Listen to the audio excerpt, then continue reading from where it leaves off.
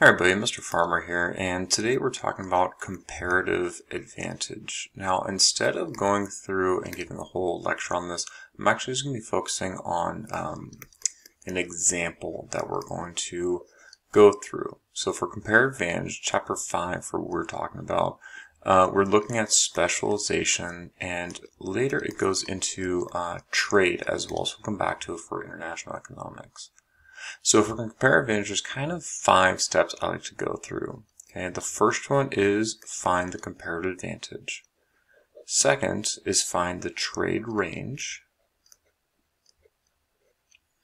Third, find the terms of trade. That's going to be like the negotiated levels of how much of good one for good two, etc. Find the number of trades. And the last one is going to be finding the economic gains. So there's kind of two potential scenarios that this would be asked about. So I'll kind of go through uh, each one. Okay, so we're going to be going through these five or so steps. So first off, let's come up with a little scenario. So the scenario I've come up with today is we have companies X and Y. And they make goods, they make, um, getting ready for Halloween in my household, so we're getting ready for Butterfingers and Milky Ways, which I don't know if anybody actually still eats anymore. We have Butterfingers and Milky Ways. Okay, so company X, if they, we have our Butterfingers and we have our Milky Ways, if they specialize in Butterfingers, they can make 10 Butterfingers and 0 Milky Ways. And if they specialize in Milky Ways, they'll have 0 and 20. And if they do a little bit of both, they have 5 and 5. And then we're going to have company or country Y, I'm not sure which one I said, their Butterfingers and their Milky Ways. And a lot of times this is given to us, what I'm doing right now, um, in word language, just given us in the scenarios, uh, or it will be given to us uh, like a production possibility curve, for instance and we're being asked to do that. Okay, so Y, if they specialize, they can do 50 and 0, or 0 and 50 for the um, Milky Ways, or 10 of each. So what I'm going to do is I'm actually going to kind of pull this down a little bit, um, and we're going to go into this. We're going to have X and Y Butterfingers, Milky Ways, Butterfingers, Milky Ways. And I'm just going to take these specialized numbers. So I'm going to say, okay, they can do 10. That's where this 10 is from. And they can do 20. That's where this one is from. And I'm just assuming that these are the specialized numbers because I'm writing it down. So I don't have to look at all this stuff. We're going to come back to this little row right here. I'm going to put in red so we can really remember what we're missing out on. So we're going to come back to this later on. And then we have 50 and 50 over here. So right now we're looking at comparative advantage, first step. Let me kind of move this down a little bit. So in order to get comparative advantage, what we want to do is we want to try to simplify one side. Now, I just do whatever's on the left-hand side. It could, doesn't matter, I could do what's on the right. So I want to try to figure out how much does it cost for country Y to produce one Butterfinger, meaning when they pour in their factors of production, the land, labor, capital, entrepreneurial abilities.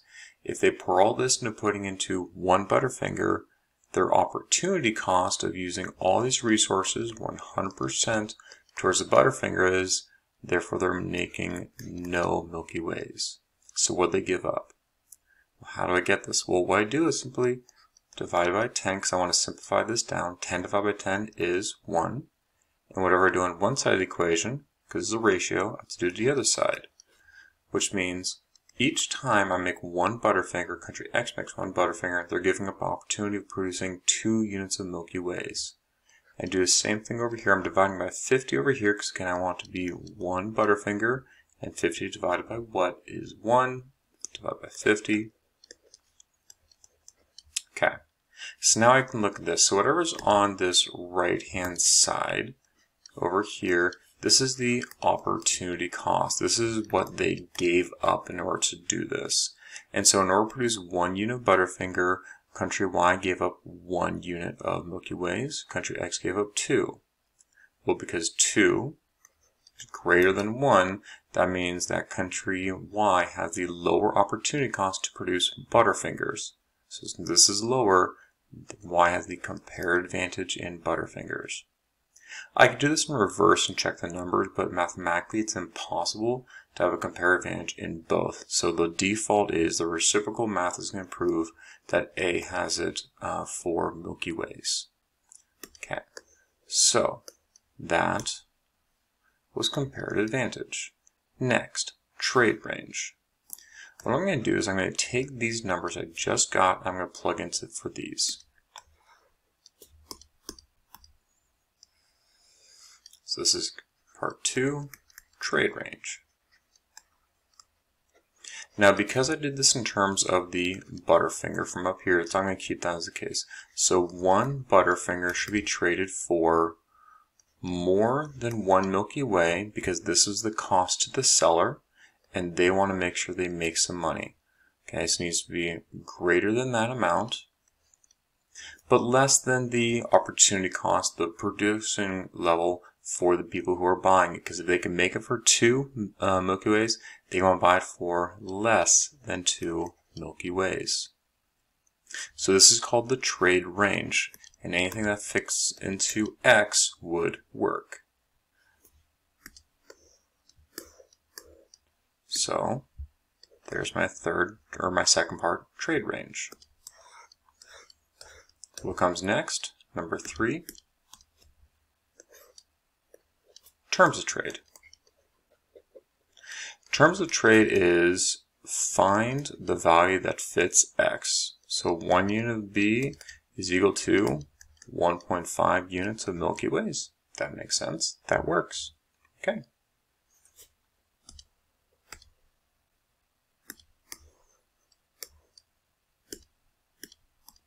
So there's our terms of trade.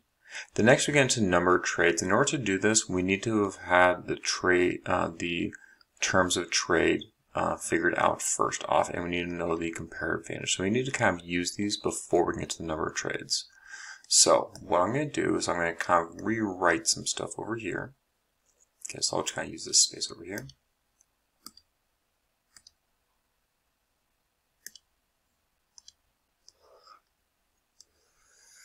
So for step four, for the number of trades, what I like to do is I look at the available resources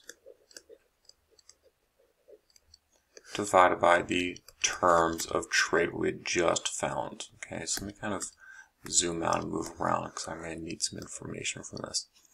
Uh, you notice I put the CA up here. That's so I can keep track of things. Okay, so I'm going to do Butterfingers first since I was on the left.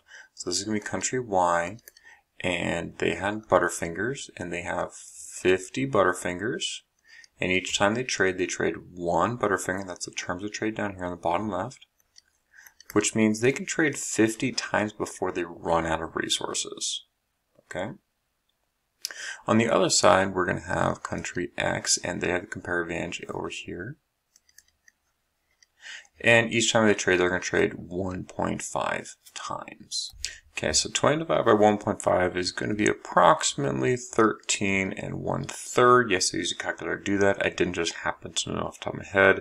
That happens because I just made these numbers up pretty uh, briefly. So they're going to, I'm going to round down. So they're going to trade 13 times. The reason why is whichever the number is less, that's how it trades because this group is going to trade an extra 37 times for resources that country X doesn't have. Okay, so let's kind of pull out all the info that we have so we can do the last thing, economic gains. Okay, so first off, they're going to trade 13 times. We just found that out. And each time they're going to trade, they're going to trade from number three right here terms of trade, one Butterfinger for 1.5 Milky Ways. Okay, so for economic gains, what we need to do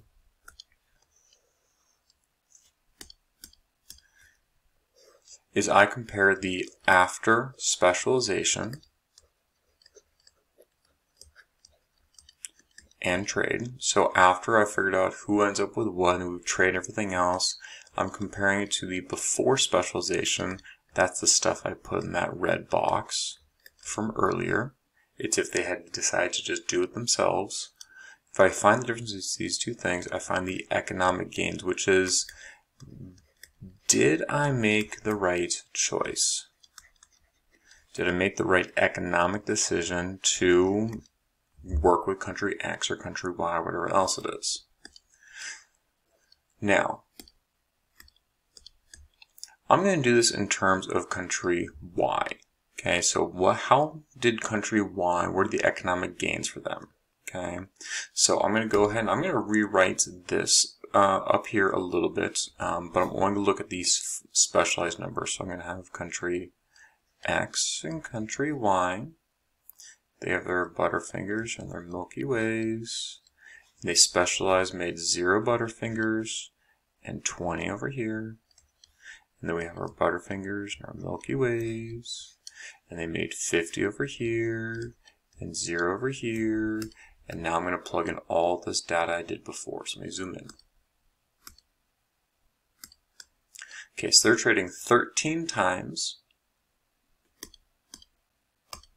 And after 13 trades with one Butterfinger being traded each time, that's 13 times 1, they're going to trade 13 units of Butterfingers, which leaves me, so 50 minus 13 is going to leave me with 37. This 13 is going to go over to here because I'm trading it over there. They're going to end up with 13. And then after 13 times, uh, 13 trades with 1.5 trades each time. That ends up being 19.5. So subtract 19.5. And again, yes, I did use a calculator for that because I get to do those kinds of things. And we'd be traveling that over to here.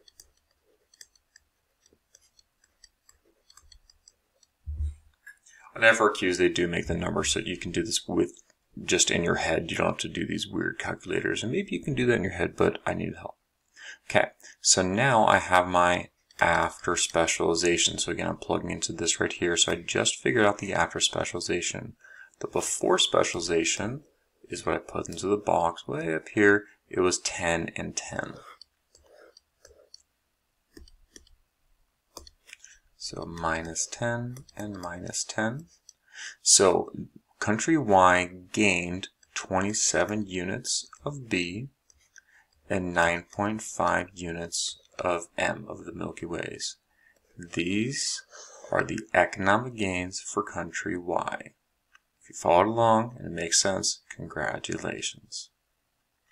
Now, the very beginning, I told you there was two things of ways of doing this, and here's the second way of doing this. Going back to kind of the original statement, we're going to instead say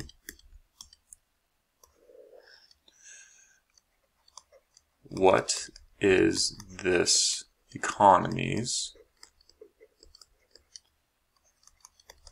economic gains. Here's a nice part. In order to do this, we go step one, and then we jump to step five. We don't need to do the second, third, or fourth spot, which is really nice. Now we are figuring out the comparative advantage, so I'm already going to plug into that. So here's how I like to do this.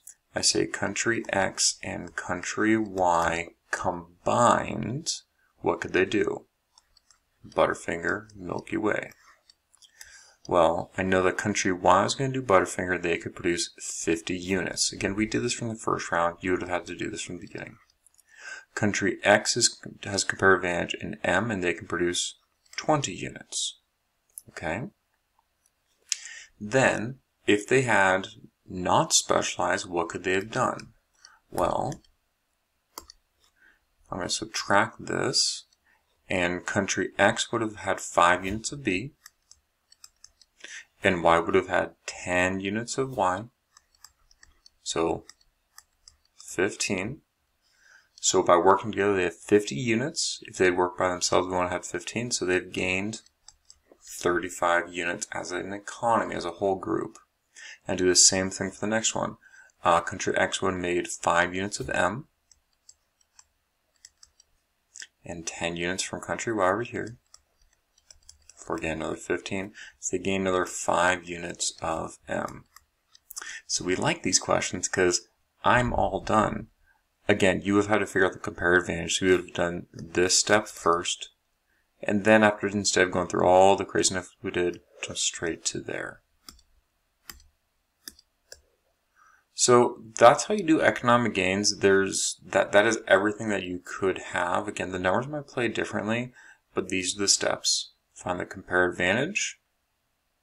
And if it's a long one, find the trade range, find the terms of trade, find the number of trades, and then plug in for the economic gains. Or you can plug in and go straight over there. Hopefully that helped. See you next time.